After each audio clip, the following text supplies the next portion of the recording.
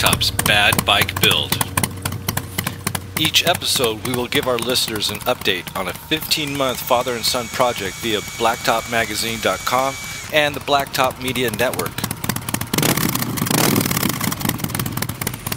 Their plan is to take a full size Harley down to the frame, chop it, rebuild it, and then sell it to benefit the American Diabetes Association. Check it.